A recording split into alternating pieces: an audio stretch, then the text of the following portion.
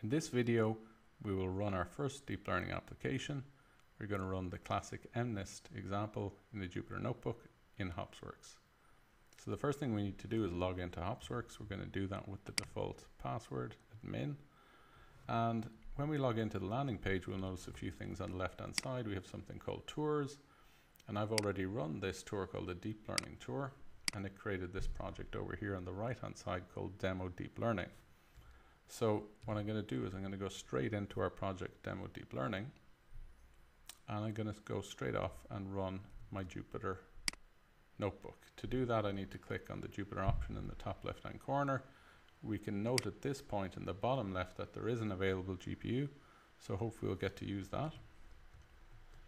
And let's go into the Jupyter option here. So the Jupyter option you can see there's no Jupyter notebook yet because we need to click on the start button to start our notebook server. But before we do that, we have a number of ways of starting our notebook server. We need to give it resources. So in this case, it's going to be a PySpark application that starts. So we can see that PySpark applications have something called a driver. And the driver launches a lot of executors. In this case, we're only going to have one executor. And the executor will have four gigabytes of memory. That's fine. Driver will have two gigabytes. And we'll have one GPU which will go inside this executor over here. So let's press start. Now this will launch your Jupyter Notebook server in a new tab. You may have to approve this if you haven't launched a new tab and approved it before for this particular domain. Now I'm going to launch my experiment. I'm going to pick the experiment folder where we have a bunch of notebooks. And let's go in there and we can see that there's three options. Keras, PyTorch, TensorFlow. I'm going to TensorFlow and I'm going to select this notebook called Maggy MNIST so the Maggy MNIST example is a, a, a, new relatively new framework that we've introduced. And what it does is it gives good support for uh, printing the output of your executor directly into the notebook. Because the executor is running on a remote machine we needed to do some work to make that uh, visible in the notebook so the first thing we'll notice is that we have this train method here. And inside the train method, this is our executor. What we'll see is all the code for training the MNIST example. There's a bunch of hyperparameters here. And these hyperparameters we've hard-coded in this example. In the follow-up notebook, we'll uh, do some random searching to find better hyperparameters to, to find more accurate models. Uh, but in this example, we've hard-coded the number of epochs, kernel size, pool size and, and dropout rate. So let's just look down through the code. It's quite a simple example of MNIST. You may be familiar with MNIST, which is trying to classify handwritten digits from 0 to 9. There's 10 different classes. And this particular example, we have a convolutional neural network. Here it's defined in Keras, sequential layers. And if we go further down, we'll see we get to the end of this particular cell.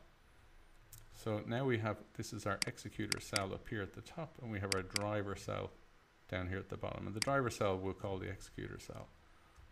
So what I'll do first of all is I will run the executor cell.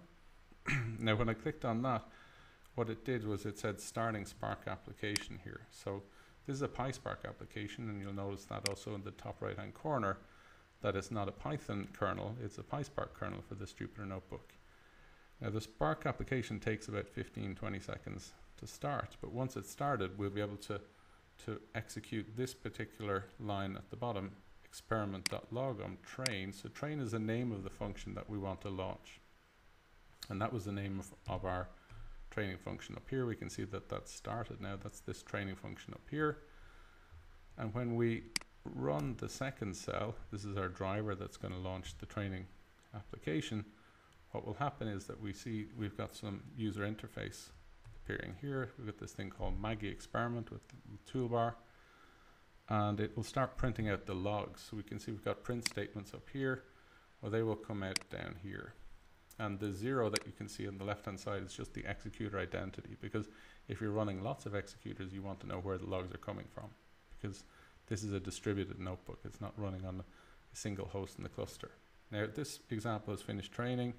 We're getting test accuracy of 94.95%.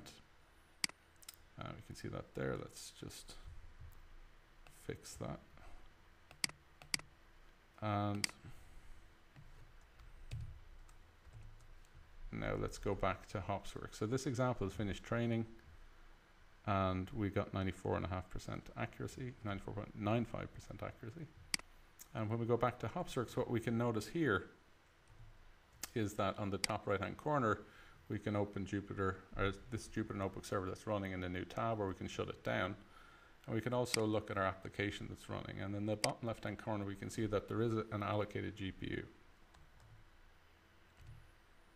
So let's click on the application here, the blue button for our application to open the application UI.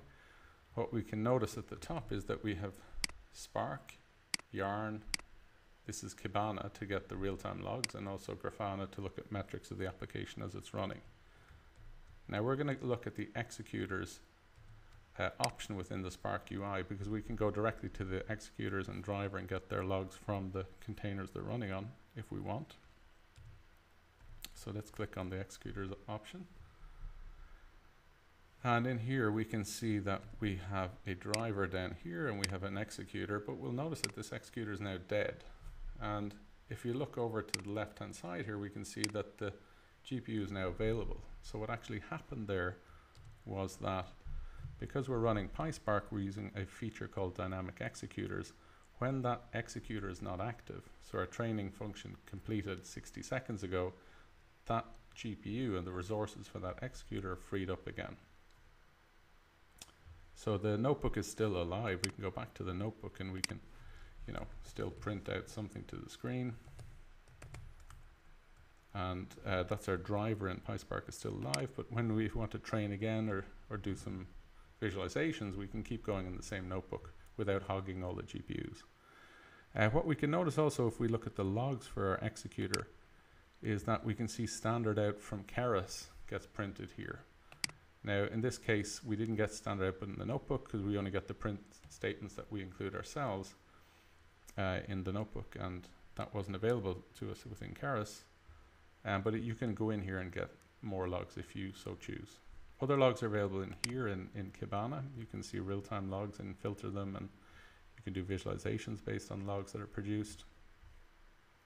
And then we have the Yarn UI. And then we also have Grafana, which will show us metrics of the Spark job that we ran.